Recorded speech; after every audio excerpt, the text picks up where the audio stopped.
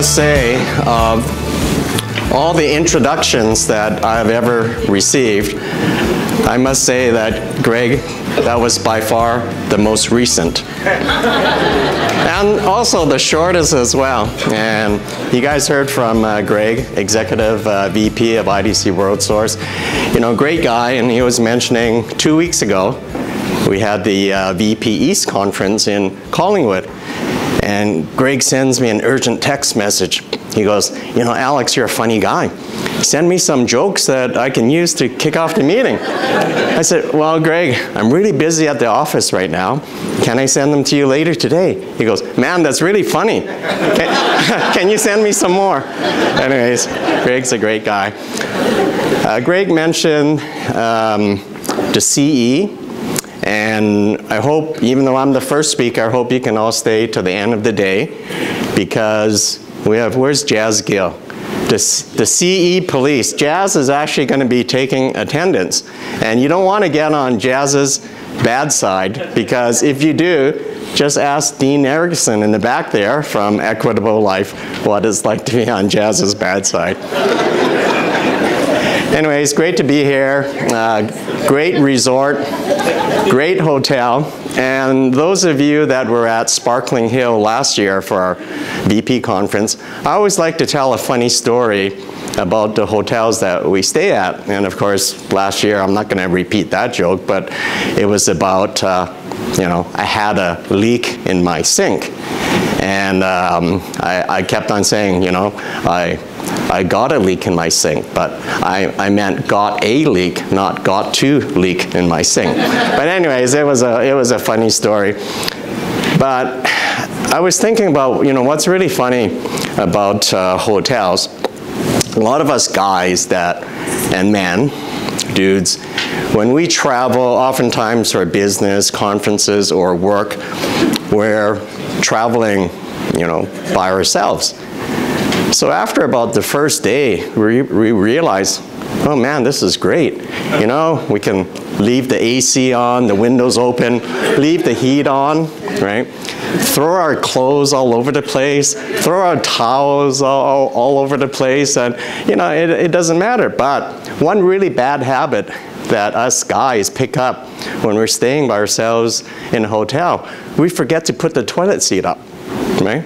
So, you know, you, you, you get home, you bring your bad habits with you, and then you hear your spouse scream in the middle of the night, oh my goodness, you left the toilet seat up. Anyways, so let's get going. That's why they put me up first, tell you a few jokes. And so my talk today, succession planning uh, for the financial advisor how do I sell my business and, and, and what is it worth? And I think it's really relevant to everybody in our business today, whether you be a new advisor or a seasoned advisor at some point in your career, you know, you're going to sell uh, your, your book of uh, business.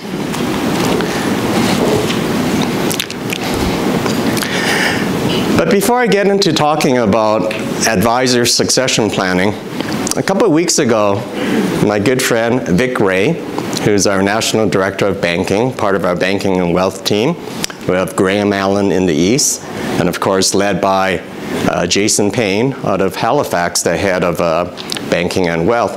But Vic said to me, you know, Alex, do you know what our advisors are fishing for out there? And Vic said, you know, we really got to help them to position themselves and fish better for new clients. Because until you all make a sale and commissions are paid, nothing happens. Nobody gets paid, including us. So I thought about that and many of you know I'm quite the avid salmon fisherman. And we've been going to Nootka Island Lodge for over 25 years. A few of you in the audience has been uh, Brad, Norman, Brian, Drake as well, right? And I kind of thought about it and I thought, you know, fishing for clients or fishing for new prospects is very similar to the process for salmon fishing, especially for, for large Chinooks like you see here. We don't just get onto the boat, go out anywhere, drop our lines and hope that we catch salmon. There's a lot of preparation, even preparation the night before.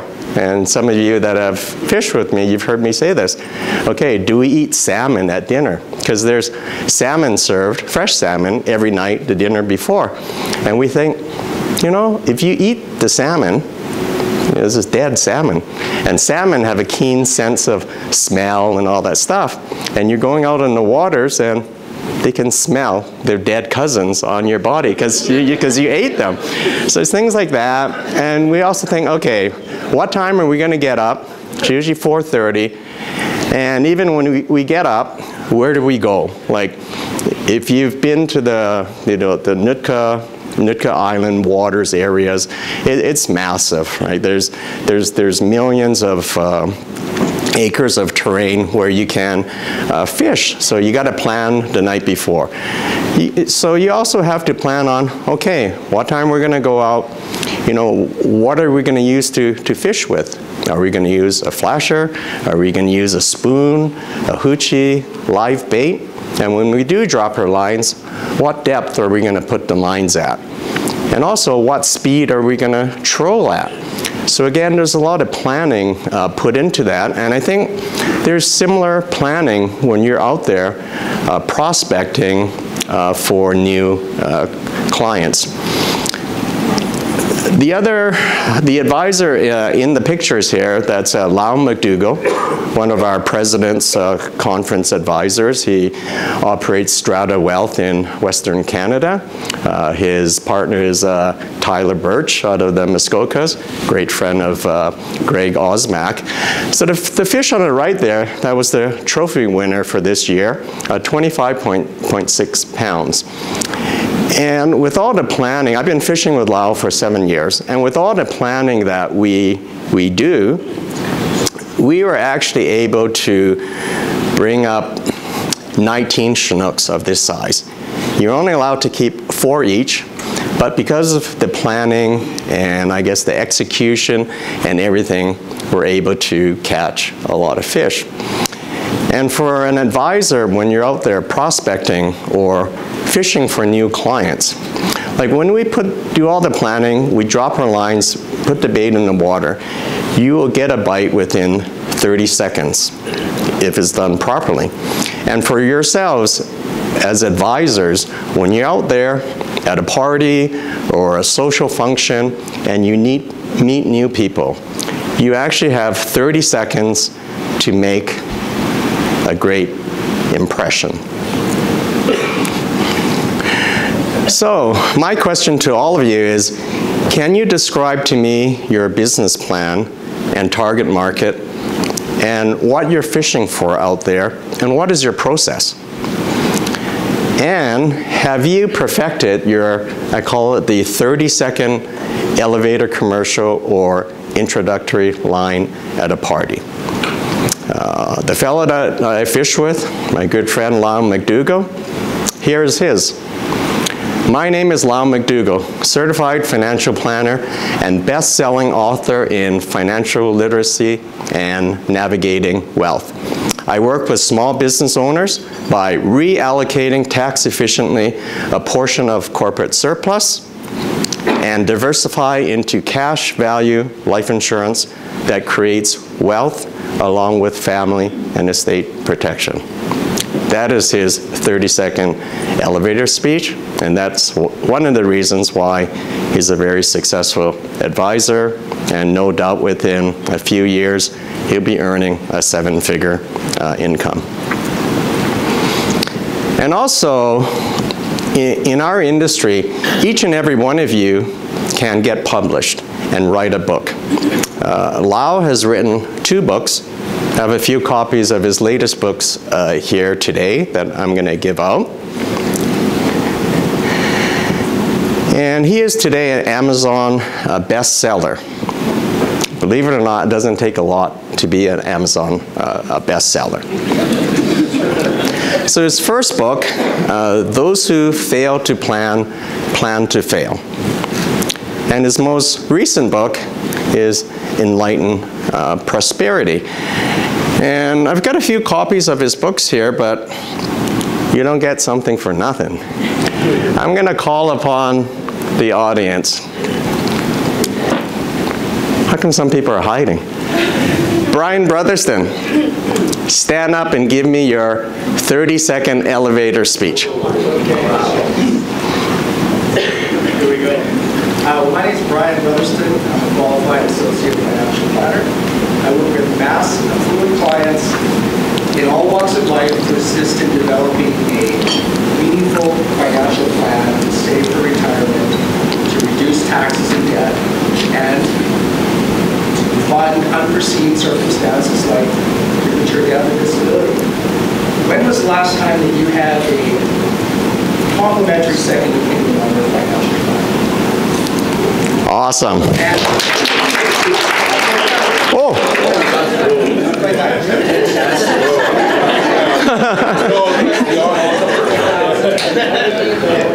household investable assets, is that true? Perhaps we can have a coffee and I can go into more depth how I can assist. yeah. There you go, Brian. Anybody else? Everybody's shy. I'm going to pick on someone later. Great job. Thank you. I have three more books here. Come up to me anytime at the break, lunch. Give me your 30 second elevator speech, and I'll grab a book for you. So here we go. I'm going to pause for a quick story when it comes to advisor buy sell. And I've been talking for years, it's got to be a, a good fit. And this is something that I wrote probably a while ago uh, for seller and buyer. Uh, the two must share common strands from the same core DNA of character.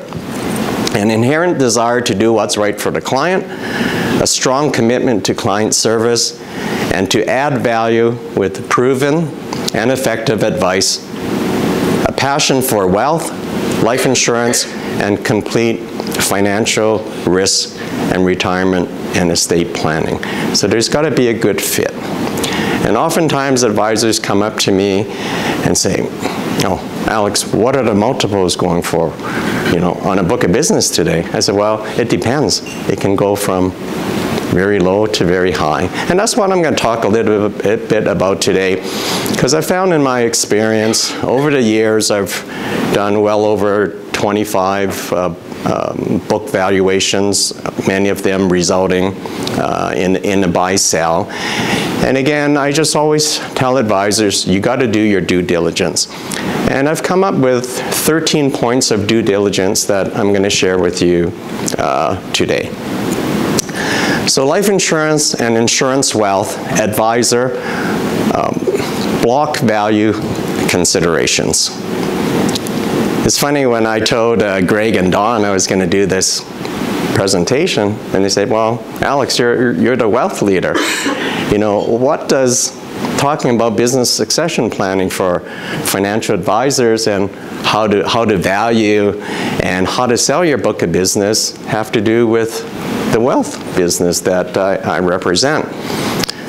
Well, again, from the last 25 book valuations that I've done, and again, many of them resulting in a buy sell, time and time again, the wealth or seg fund trailers account for over 85% of the value of the block of business.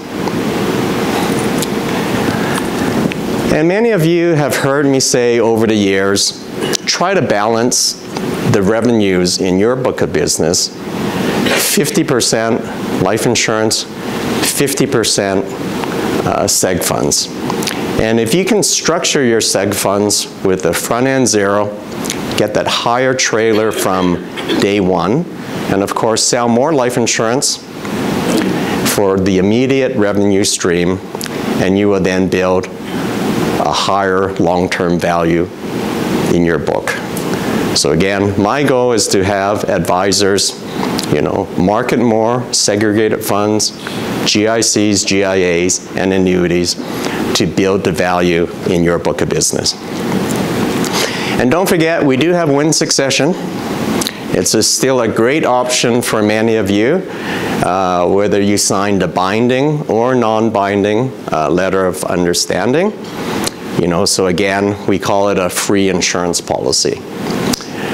However, if you have a junior advisor you're working with, or, the, or mentoring, or you have an IDC WorldSource colleague that you have started talks with, that may be something that's preferable, and then you will know actually who is buying your book of business and who is going to be servicing all your clients that you've worked so hard to build up.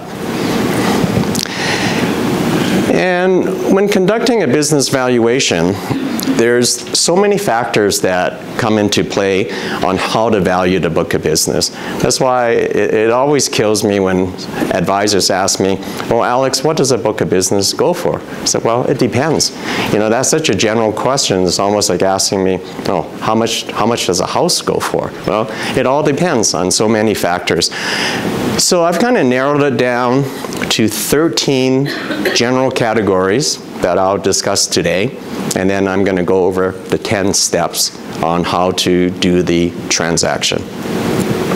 So on your tables in front of you, I think some of you thought, thought we were going to play bingo, right, Jazz? So there's papers there. I want everyone to grab one. They're numbered 1 to 13.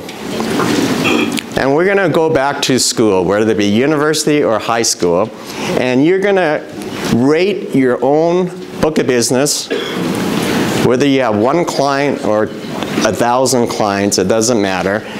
For each of the 13 categories I talk about, I want you to rate it A, which is excellent, D, you know, failure, C minus, you know, well below average, C plus, kind of average, B above average. Right? So when you buy or sell a book of business, like any business, you can either do an asset or a share sale. Now, of course, with a share sale, you're qualified for the small business corporation shares uh, lifetime capital gains exemption. I refer to it as the jumbo exemption. It is now $971,190. If you want to know more about this, ask Brad Hyde. He's an expert on working with this. And a share sale is advantageous to the seller because they can use the jumbo exemption and have potential tax savings. But sometimes though, the seller, they still want to retain the corporation because they may have lots of retained earnings in there. Maybe they've been doing some shareholder loans for tax planning. Probably they have their own life insurance uh, in the corporation. And also, the corporation can also receive the buyout over time to minimize and shelter the cash until it's needed. So sometimes, even though it starts out as a potential uh, share sale, it's switched to an asset sale because the seller wants to do it over time. So here, how you rate your own book of business is, if you sell your business, are you adamant that you want to sell the shares, or are you okay to sell just the assets? If you have flexibility, you're going to attract potentially more qualified purchasers. And of course, if you're not incorporated, uh, it will be an asset sale you know, advisors ask us all the time, you know, when you should incorporate your book of business. Well, for sure, once you get to the VP level, you should look at incorporating your practice. You know, you look at advisors at our president's conference, you know, they're usually all in, incorporated. Uh, asset sales, again, they're easier, they're cleaner and you don't have to deal with other shareholders. You know, in, in, our business, when an advisor is incorporated, sometimes their wife owns shares, sometimes their kids do, right? So when you're buying the shares, you have to deal with every, everybody. And also, when you're, you're buying the shares in the company, you also get what I call the skeletons in the closet, right? You're buying everything. You're getting the whole company, everything that's within it. And sometimes when, you know, it doesn't work out as a share sale and it turns into an asset sale, we'll just gross up the value a little bit to pay for the taxes. And usually, you know, most, if not all, advisors in our industry, they only want the assets. Okay? And what are the assets? The assets are, of course, the clients, but they're buying the reoccurring revenues, you know, the seg fund trailers or the life insurance uh, renewals. Thus, asset sales are the most common. I talk a lot about demographic and geographic breakdown. You know, the wealth book, is it primarily mature clients that are starting to redeem. They're starting to gift away their money. Uh, they're, you know, riffing, riffing out all their money, so that block is uh, depleting. Or they want to give their money away now, you know, to charities, their church, or other philanthropic um, uh, uses. So sometimes that can be an issue. But I say not necessarily and not always, because oftentimes the older clients, they have valuable real estate that they're going to be selling. Or they have businesses that they'll be selling as well. And these clients will have need for estate planning, utilizing permanent life insurance, and of course, segregated funds. Okay? And again, a lot of these older clients that are maybe riffing out, they still might have a lot of life insurance um, on the books. And will these death benefit payouts uh, being reinvested by the spouse or beneficiaries. And I'm going to talk a little bit about having a multi-generational practice because that adds a lot of value to your book of business. So demographics needs to be researched in depth and is the demographics of the book of business that you're wanting to buy or selling to another advisor, are they similar to what you're doing or are they worlds apart? And that makes a big difference. Uh, geographic location of the clients, are they within a city, within 100K of, so you don't have to drive all over the place? Or are they spread over all of Western Canada? And also, where the uh, seller and buyer located? It's funny, the first night at dinner, uh, Jeffrey, Jeffrey Frizen was talking to a bunch of people and he says, yeah, I came on here to Alberta, I went on my milk run, right? And a younger advisor didn't know what a milk run was. In our business, a milk run is basically driving all over the place, deliver, not delivering milk, but seeing your clients and all that stuff. I knew an advisor, he was based out of Vernon. Every quarter, in the year, he would pack up his truck and trailer. He would drive all across Western Canada, all the way to Thunder Bay to service his clients. And he did this four times a year, and he was gone for six weeks. Now, can you imagine if you were the advisor buying his book of business and you were not prepared to do that? You know, it would, yeah, it wouldn't be, it wouldn't be a good, good story. So again, concentrated geography will have greater value. So when you're doing that little bingo sheet there, if your clients are concentrated and geographically and you sell them one day, it will have greater value. Multi-generational. I was at a Manulife uh, Wealth Conference last week and one of the speakers was uh, uh, Dr. Dan Deans, who uh, Manulife really promotes. Great guy, great author, very successful business person. And he talks about having meetings, joint meetings with advisors and their clients. And sometimes they're multi-generational, not two, not even three, sometimes four generations. And can you imagine if you have four generations of a family in your book of business. You know, those clients, you know, aren't going anywhere. So multi-generational is, you know, really important, you know, and I just talked about it, you know, here. If the block has older clients, you know, are the children, the grandchildren, you know, are they uh, clients? And of course, a lot more value when this money can pass to beneficiaries that are already your uh, clients. Because if the beneficiaries are not your clients, when your clients do pass away, the seg funds, the life insurance payout, you know, goes to the beneficiaries. You know, that money is off your books, right? So again, when, one of the great things to do every couple years, just reach out to your clients and review the beneficiaries you know, and do, do the beneficiaries know what mom or dad, grandma, grandpa has? And ask them, is it okay if I reach out uh, you know, to your kids, your grandkids, your great-grandkids, and let them know the plan that we've put together.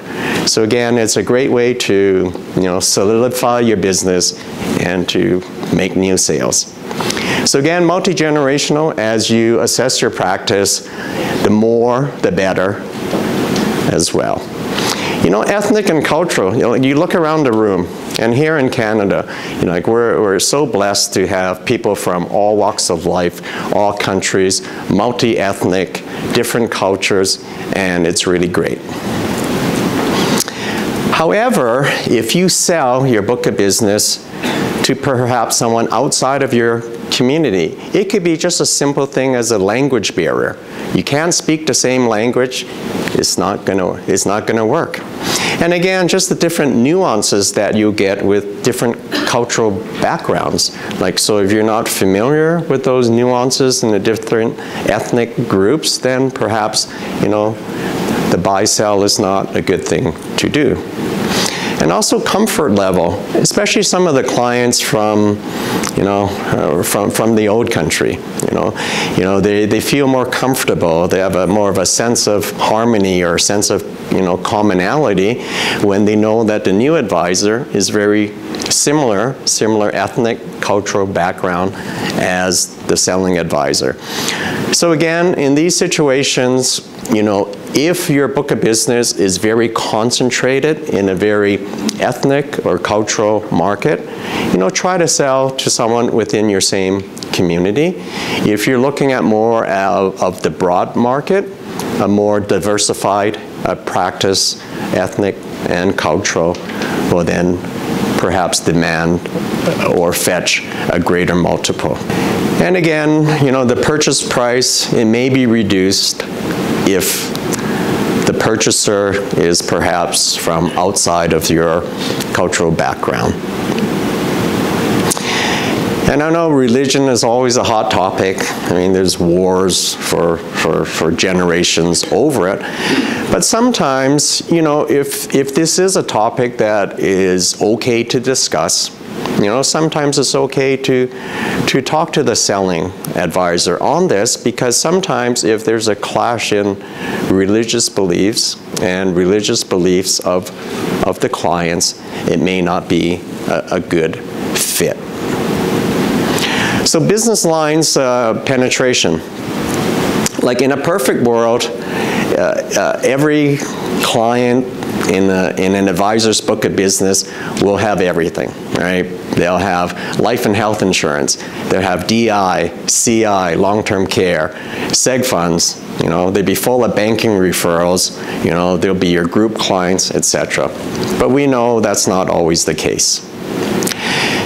So if you were buying an advisor's book of business and, and they said to you, you know, Sam, I've sold my clients everything, everything. Life insurance, DICI, seg funds, banking referrals, everything. There's nothing more to sell them. Well, if there's nothing more to sell them, then of course there's less value um, in that book of business, even though they would be super sticky. So we have actually great success with wealth advisors purchasing a life-only block. Right? So then you can talk to all those clients about seg funds, annuities, GIAs, etc.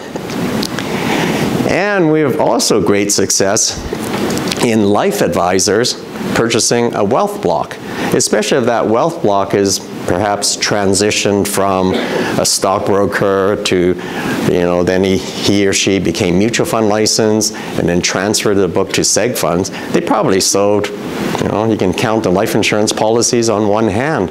So there's great opportunities for life advisors purchasing a wealth block to, again, market life insurance strategies and concepts to them. And also individual life and health advisors buying a small group practice.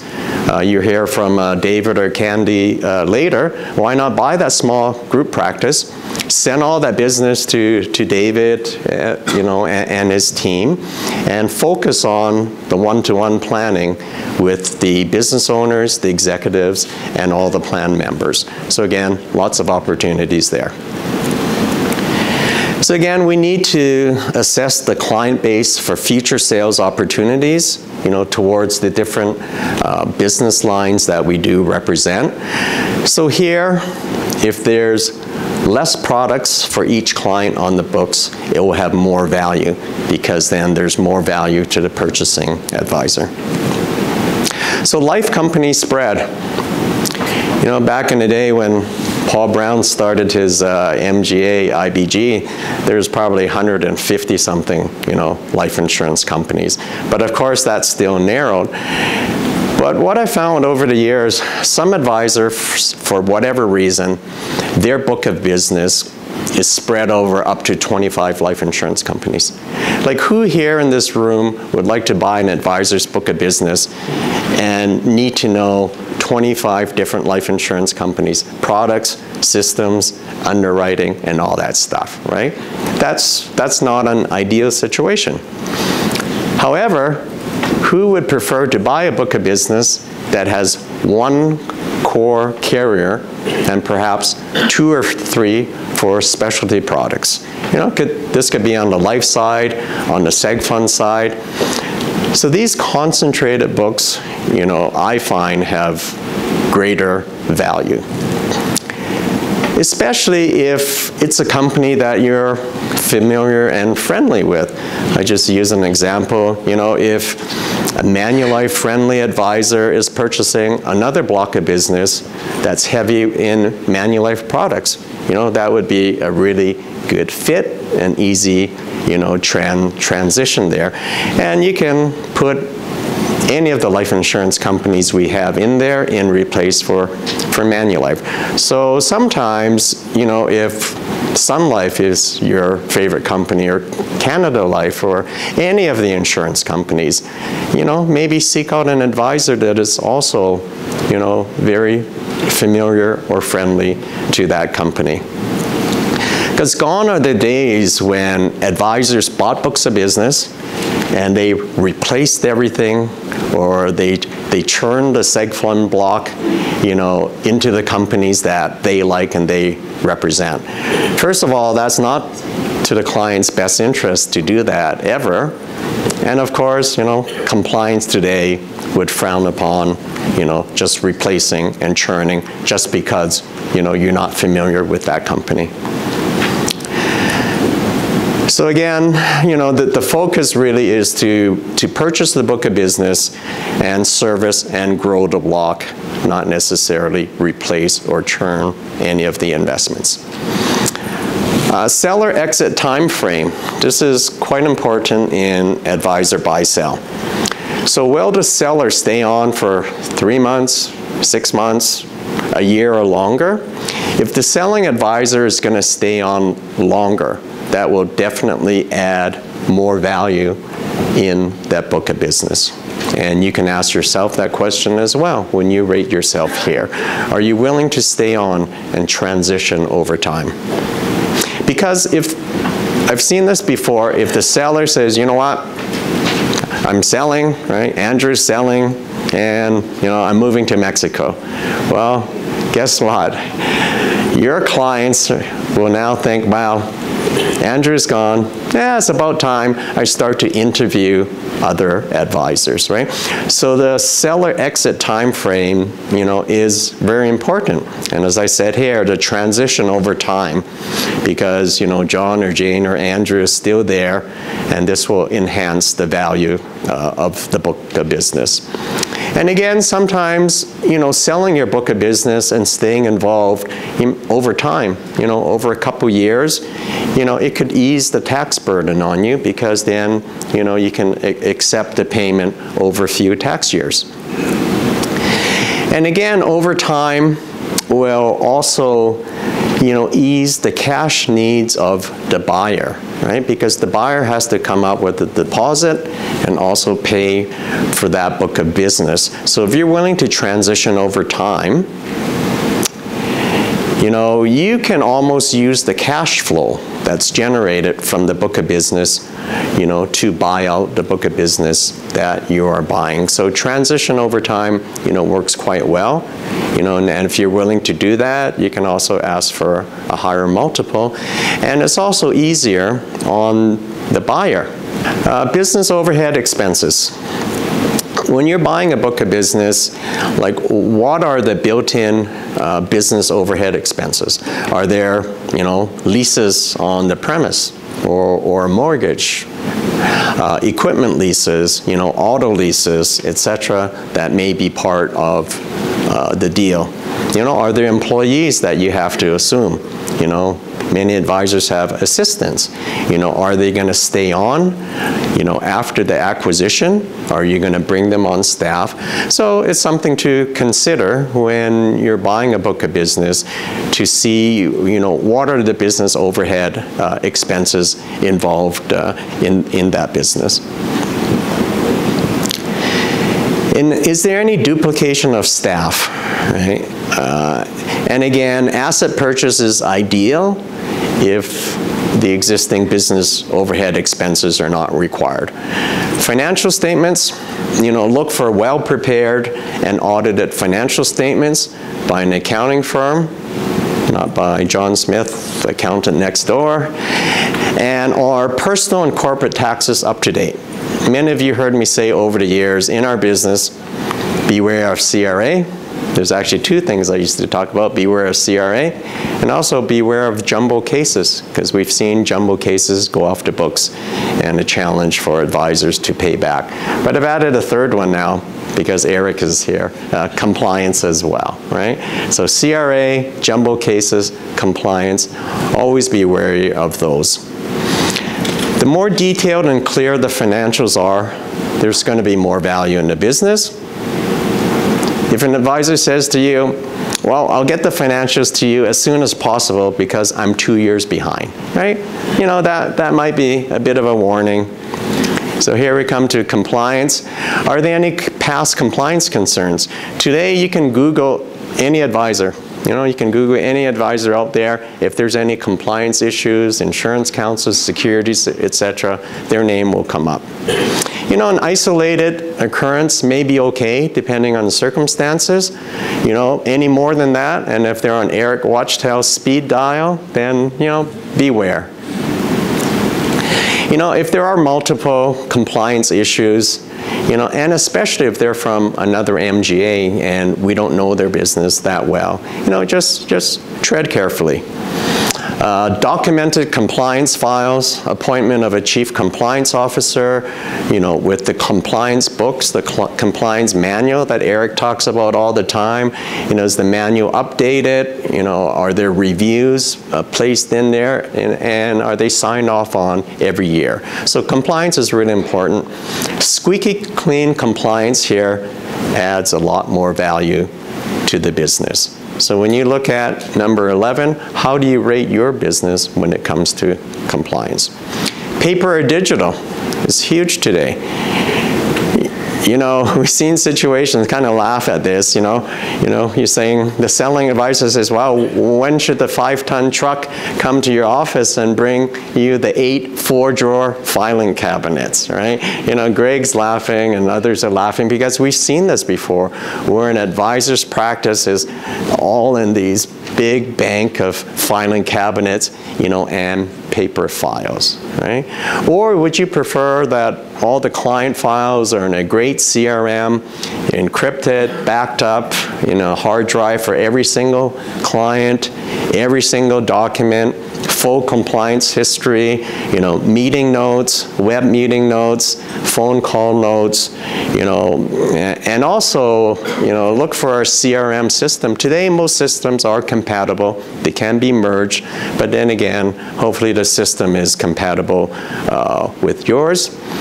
Uh, their media presence, you know, you know, a great website, social media, because when you you sell or buy, when you're buying an advisor's uh, practice, you know, all this you know, digital flow can go to your social media site or to your uh, website. So it goes without saying, you know, a well-organized uh, digital uh, practice with great, you know, information and great potential for you know, future sales because of the tracking of all the client data will have superior value. And last but not least, and I'm going to quickly go through the 10 steps here, uh, what is the reputation? Uh, goodwill and business style of the selling advisor. So is the selling advisor, you know, what is his or her reputation or the company's reputation? You know, do they have professional uh, designations? Uh, are there references from the MGA, whether it be ours or from uh, another? You know, and again, are the markets that the buyer and seller work in, are they similar or are they vastly uh, different? What is the style of practice? Is it planning focused or is it specialty product emphasized? So again, you know, you know, it's got to be a good fit. And again, persistency. You know, if you're buying a book of business that has less than a 90% persistency ratio, again, you know, you, you got to find out, you know, why. So again, better persistency is always much better. Uh, seg fund blocks, you know, today with the chargeback schedules, some of the schedules going five years, you know, if you're buying a book of business that still has a lot of chargeback on it and those clients redeem, you have to pay it back, right? Because you're the current owner of that block of business. Life insurance as well, you know, is there any uh, exposure still to the commissions that have been uh, paid, right? Because there's a 24-month chargeback period. So again, that all comes in assessing the book of business that you're buying. So back to my earlier comment, you know, is the seg fund block, you know, DSC, chargeback, or primarily front-end zero? Or perhaps chargeback where and DSC that has expired. And of course, less exposure to any chargeback, life or seg fund will yield more value. And generally, our business does not have goodwill like some business do. And in some cases, especially mature blocks of business, you know, the life renewals have run out. So we just apply a, a $10 value to these policies for potential future opportunity. So now, what is the number? So once you've assessed each and every one of these 13 areas of due diligence, it's kind of like an investor profile because I'm the wealth guy. So this is an investor profile. You score yourself out of 65. You grade each of the 13 uh, areas um, of due diligence, grade them from an A down to a D, with A being five points, B, four points, C plus three points, C minus two, and a D one, right? And if you score 60 to 65, or the book of business scores that, you can ask 3.75 to five times, which is the very high end. If you score, or we score a book of business 52 to 60, it'll be three to three and three quarters. 39 to 51, 2.5 to 3, which is average. And then 26 to 38, below average. Any less than that, one times, maybe one and a half, one and three quarters, or just pass on that book of business. So again, after you've done all the due diligence, then you can talk to me and I can help you do the, do the multiple. And again, this is just a general guideline. And I kind of refer to a mature advisor selling his or her book of business. It's also almost like selling the family home. You know, you've lived there all your life, your kids grew up there, your parents live there, your grandparents live there. So you get really emotional. So I always say to advisors, like, don't get emotional. And it's, and again, it's like buying and selling anything. Right? The seller always wants to get maximum price, and the buyer always wants to get a good deal, right? And don't be discouraged, you know, don't get upset if the seller is here and you think it's worth here, you know, it's, it's okay. So the first step is to identify an advisor with a similar business style and start casual conversations. And the good thing is they do not have to be with IDC Worldsource. You know, our company executive, Paul, Greg, Phil, and others, they've realized that, you know, acquiring books of business from another MGA is actually really good for us as well. So as you're out there in your travels, you meet an advisor, and the advisor says, you know what, I've been thinking selling my business, but I'm with, you know, PPI, FM, the hub, or whoever, it's okay. Still come and talk to us because we can help you through that.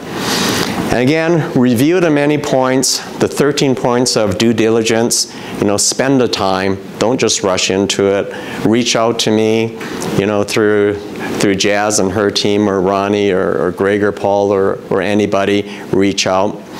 Uh, review the compensation statements. You know, I was in situations where an advisor and their accountants were dissecting a book of business, trying to find out, you know, what the renewals were, and they were spending a fortune and time. And I said to them, why don't you just look at the year-end statements? Well, what do you mean? Look at the year-end statements, December 31st statements. On every insurance companies, there's a line. It says renewal commissions. That's it. Get two or three years worth of that, and we have the life renewals. Seg fund renewals are at my fingertips, so it's very easy to get. So we draft a letter of intent, you know, enter into a confidentiality and non-disclosure agreement, you know, draft a buy-sell agreement. You know, for the share sales, you need to get legal advice. But if it's an asset sale, you know, I can help you with that as well. Uh, obtain financing or set up a HELOC in advance. We hope to have advisor book financing in the future, right, Greg? Right, Paul? And I know it's something that, you know, we're, we're working on. And again, you complete the absolute assignments with your buy-sell. Every insurance company that there's business on the books uh, will transfer. The buy-sell is completed and the trailers the, and the renewals will start you know, being paid to yourselves as the new advisors if you're buying. And here's where you do the letters of introductions, the email notices, you know, face-to-face -face meetings with the top clients, you know, um, web meetings for maybe some of the other clients that you can't meet face-to-face -face with. And time and time again, there's going to be stuff that falls through the cracks. We do a sweep up after six months and 12 months. It's very easy to do. Just check the selling advisor's corporate bank account. You know, you see a few dollars going here and there from RBC Insurance, you know, Sun Life or wherever, you know that there were clients that were missed. And we'll help you through uh, all of that. Anyways, I know I'm just about out of time. Perhaps maybe come to me at the break or at lunch if you do have any questions. You know, and again, I found the vast majority of buyers and sellers are, you know, extremely happy. So thank you everybody for your time this morning.